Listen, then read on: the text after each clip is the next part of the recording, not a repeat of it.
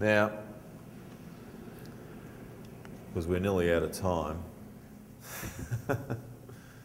well, that depends. um, this is Yeomans' property in 1968. Um, all of these ponds are not in creeks. They're all in the first, within the first three orders of, of catchment. So all of your ponds, all of your reservoirs of water are in the fourth and fifth orders of catchment. So they're upsetting stream flows and they're at the bottom. So they have to be pumped.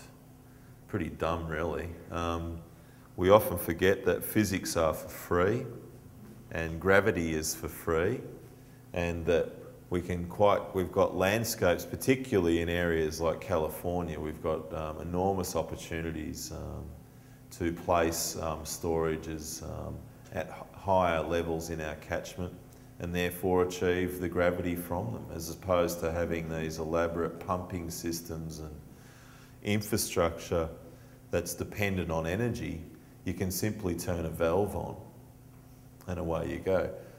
Can you envisage this um, with houses on it?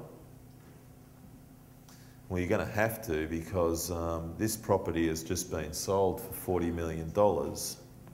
Um, and those of you who've done my courses would know we've talked about this because of this photograph here.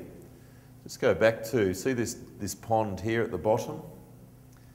Right, just remember that and just have a look at all of the market gardens. Um, Gunner, Gunner knows this story. He, his um, old baseball field is now a car park for a, for a strip mall.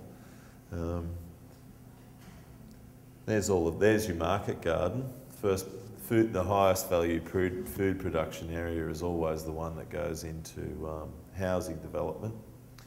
And then where that uh, very large storage there, in fact the second largest storage in this whole layout is now um, a subdivision.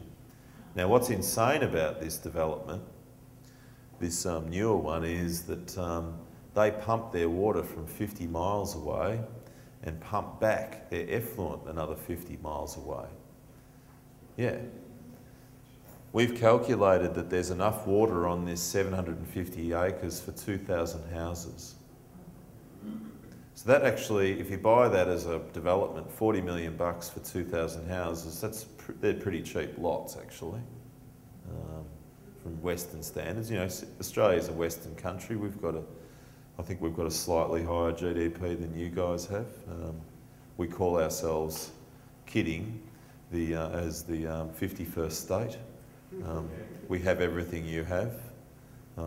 You know, American pop culture is totally pervasive, such to the point that I was named after Darrin of Bewitched. it's sad but true. I should have been Stephen. So it would have been, G'day, Steve.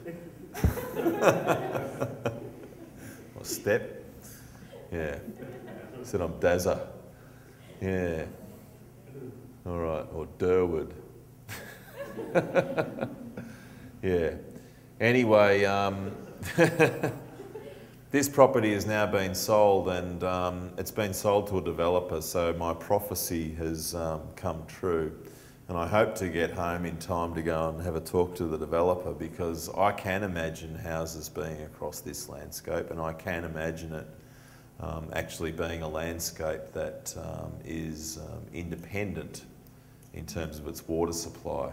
In fact, it would have a surplus um, and would be a pretty nice landscape. It would almost be like living on one of those golf course developments, really, except there's no golf course. You notice those golf courses, they've got so much water, of water features and um, they never use the water hardly.